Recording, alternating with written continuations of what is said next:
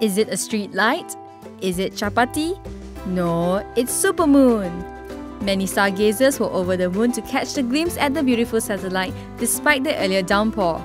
The moon was at its largest in 68 years and could be seen at its fullest at 9.52 Monday night. Penang Astronomical Society President Dr. Chong Hon Yu said nine telescopes were set up to maximize the visitors' viewing pleasure. Dr. Chong said the next supermoon could take place only in 2034 and the moon could even be closer to Earth then.